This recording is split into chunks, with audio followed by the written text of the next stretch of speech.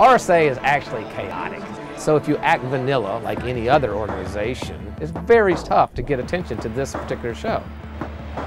For a vendor, it makes it very constricting because you have 20, 30, 40,000 people coming in to check out 800 vendors or more, and you have to stand out.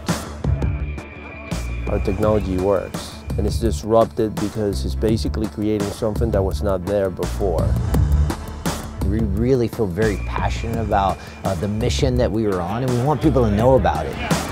There are all these empty newspaper receptacles that needed something to fill it. So we created a JASK Times. We also have our office, which happens to be a block away from Moscone Center. The arrows pointed to our booth and then back to our lounge. We had lots of people come into the office that saw this arrow on the ground, knew nothing about us, and were curious to see where these arrows led. We did these curbside confessionals. Do you have SIEM? Well, of course, yes. What are the challenges you're having in security operations? Open up to us. What would I change? There's a lot of false positives. Too many tools. Pretty much need to be subscribed to all of them to, for them to be any use. At this point in time, it's not just it's not doing anything that we want it to, so it's a problem for us. We took a Tesla, had it fully wrapped.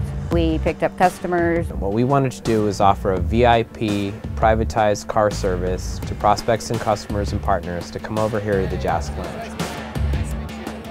This can give you, A, the full picture, and it also can give you a lot more uh, ability to drill down into individual issues that as they're happening across the network. Logs, it comes from endpoints, it comes from uh, processes, it comes from network. There's no one that I really know that, that takes an automated approach that actually reduces the noise down to the true signal so the analyst can act quickly and respond quickly. So yeah, I don't see anything out there. So we've uh, been able to take advantage of those opportunities to brand ourselves and be a little bit more exposed so people know who JASK is. We're here. This is the beacon calling you home. It's very analogous to Bat Signal